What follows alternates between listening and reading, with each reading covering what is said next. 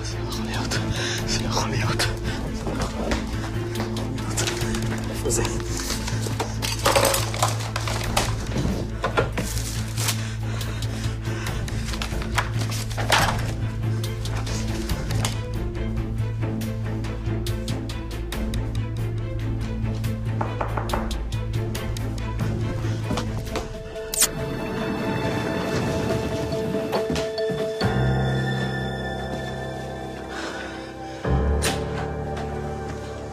שלום, אתה רואה? כן, מי אתם? צה"ל לפועל, יש לנו צו להחרים את המלון ואת כל הציוד שבו. בוא בבקשה.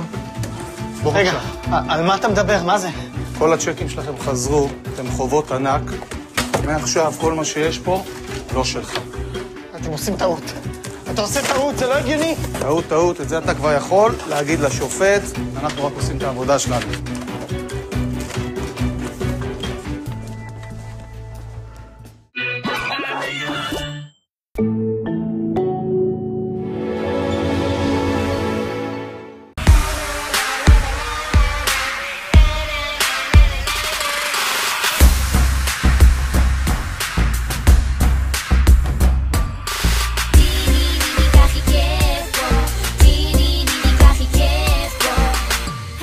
for?